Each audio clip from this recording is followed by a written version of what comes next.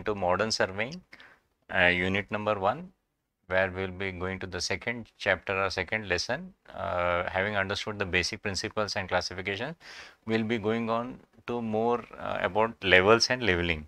So, what we are going to learn here, we are going to understand what the different types of levels and what are the different methods of leveling which will be carried out. Uh, as the course outcome says, we have to understand surveying as well as leveling and uh, both the traditional as well as the modern instruments. So, the conceptual uh, understanding and of the instruments will be there for us. Now, uh, if you look at the uh, basic instrument, uh, the dumpy level or the level consists of two major tools. One is the leveling instrument and one is the leveling stock on which the observations in the vertical plane are being taken. So, when we look at the types of levels, we the the three major uh, types which are available or which are most uh, popularly used in the market is the dumpy level, uh, the tilting level and the automatic level. Now the dumpy level was or is still being used, but uh, slowly it is being replaced by very modern in instruments. It is a instrument which is dominating the vertical uh, plane measurements for, for a very long time, almost 4 to 5 decades.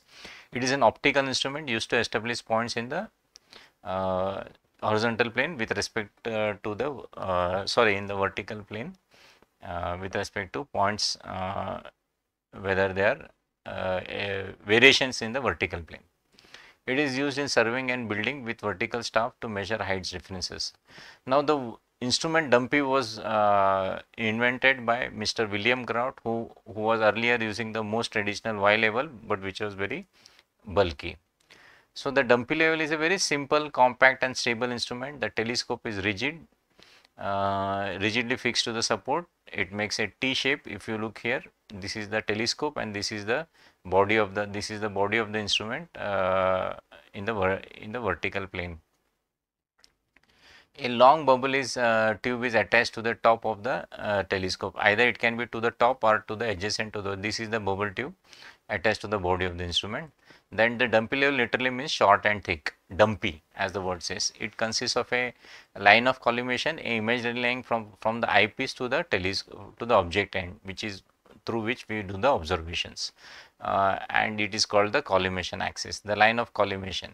Uh, there is a crosshair at this eyepiece end, there is a objective uh, at this uh, lens, uh, double convex lens at the objective end. And there are foot screws of the instruments at the uh, at the base of the instrument which are all set up on a tri tripod. The tilting level is an instrument which is which also does the all the instruments are basically meant for leveling but the tilting level is a special instrument which has got a, if you see this uh, this is the view which is seen in the eyepiece of the instrument.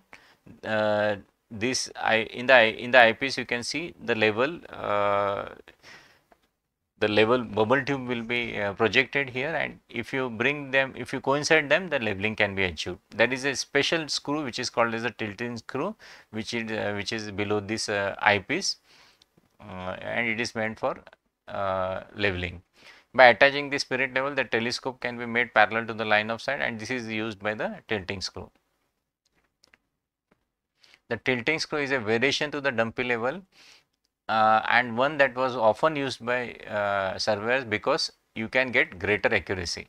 Basically tilting screw can, can achieve greater accuracy because every time you make an observation you will be seeing the reflection of the bubble tube in the eyepiece adjacent to another uh, another eyepiece which is attached to the uh, parallel uh, to the eyepiece at the eyepiece end and that is where the advantage of this instrument is there. But it is not popular for multiple level of observations only when you are interested in getting uh, very, very highly accurate instruments. It is hinged to the uh, it is not rigid like the dumpy level. It is fixed at this point.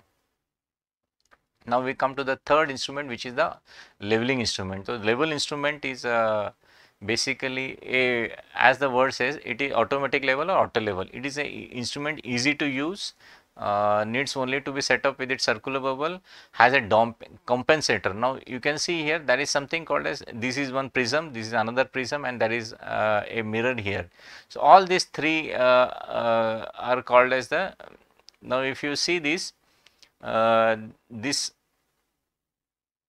So, this all will be the used for the compensator mechanism. This is the compensator, this whole is the compensator mechanism.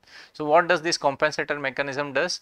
It even if your line of axis is tilted, it will try to bring this line, uh, the horizontal line parallel to the, uh, it will be, the line of collimation will be straight line. So, you won't get an inclined line even if the telescope is inclined. So, that is the uh, arrangement uh, done by this uh, uh, pendulum fixed prisms uh, and the whole thing is called as the compensator mechanism. The automatic level here some more uh, visual illustrations are there to show that the line of sight remains whether it is uh, horizontal whether it is inclined the line of sight will always be horizontal. It is also called a, because of that reason it is also called as a self level, leveling level. It is it is an instrument which includes a compensator mechanism a, which when set uh, can automatically remove any rem uh, remaining variations and thereby remove the make the uh, horizontal line of sight horizontal. It is preferred uh, it is a most uh, popular instrument in today's context because of its uh, ease of use and speed of use. Now, of course, uh, all these uh, traditional equipments like the dumpy level, the tilting level and the auto level which we discussed just now are being fast being replaced by digital levels which are consisting of uh, electronic uh, uh, chips and uh, storage, internal storage and there is a bar coded stuff here uh, for making observations. So, this is a very popular instrument, but they are little bit costly. So, not used by the common uh, surveyor uh, unless he can afford this which goes in the range of 1 lakhs and above. The laser level is an instrument which is not strictly a leveling instrument, but is uh, as it is a level it is used for making uh, you can see there is a laser red laser light which will uh, which will rotate in the horizontal plane in the all 360 degrees and you will get a uh, horizontal level which is commonly used for footings and for uh, for your flooring works. So, this is footing where it can be it this is the body of the laser level which you see here. Okay. Uh, so, having understood the types of levels, we will be moving moving on to the uh, types of leveling. Types of leveling means what are the different types? There are many types like simple leveling, differential leveling, fly leveling, check leveling, profile leveling, cross section leveling. So, uh, different types of levelings are available. Uh, now, what this leveling means, uh, let us see. Simple leveling where you will be keeping the instrument at the center and you, you don't move the instrument from one point. You will be doing the surveying only from one point. Then you call it as a simple leveling. There will be a backsight, foresights and maybe intermediate sights, but there will be no change points or the instrument will not be shifted from its position. So, that uh, leveling method is called a simple leveling. Now you can see in the sketch here there are uh, L stands for the level instrument. So L1, L2, L3 are the instrument positions but they are not called as change point. The change point is the position where the staff is changed. So you will be taking a back sight when you start with and you will be taking a foresight at the end of the work. Now the the reading taken on the end of the work is uh, is the reading taken on the from the second instrument L2 as a backsight and it will be the so, last reading will be called as the change point 2. The last reading is the foresight taken from the L2 position and the first reading from, taken from the L3 position. So, this is called as uh, backsight for the third instrument position on the change point 2. So, you can see here this is the plan uh, top view of the area of the survey. L1, L2, L3 are independently placed anywhere uh, on the area and change points will be the positions where the staff readings are taken the, the foresights and the back sights. The fly leveling. So, this is another methodology where you will be moving from one place to, uh, if you are interested to find, the, now this is the end point, okay. The, this is your target uh, position where you want to find the level. So, you start your leveling from the benchmark here and you will be taking a back backsight a foresight you will be taking a back backsight a foresight backsight foresight so back backsight foresights so there will be no intermediate sights so the surveyor starts taking the back backsights only and proceeds towards the work site till he finds a suitable place for temporary benchmark. So, all the works at the end of the work the surveyor comes back to the original benchmark. So, when this is done it is called as check leveling of course. When you do this uh, leveling in one direction it is called as the fly leveling and when you do the same work returns I we call it as a check leveling. Okay. Now, flow profile leveling. Now, why what is profile leveling? Profile as the word indicates you want to know the profile of the ground. You can see here the ground is up here, the ground is down here, the ground is up here, the ground is down here. So, I want to see the profile of this ground. So, in that case I will be using the profile leveling. So, it is a differential leveling done basically along the center lines along the uh, uh, center lines of roads and railways to facilitate the uh, route survey. So, reduce levels at various points at regular intervals are taken along the line. After getting the reduce levels, the profile can be drawn.